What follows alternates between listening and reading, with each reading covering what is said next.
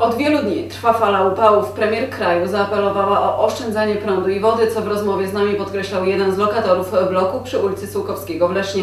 Każdego dnia ogląda podlewanie trawy na boisku sportowym przy tej właśnie ulicy.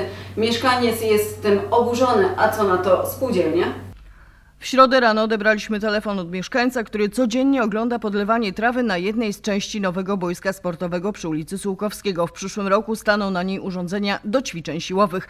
Mieszkaniec jest tym oburzony, bo w kraju trwa susza, a na boisko niepotrzebnie wylewa się wiele litrów wody. Codziennie przez dwie godziny od 7 do 9.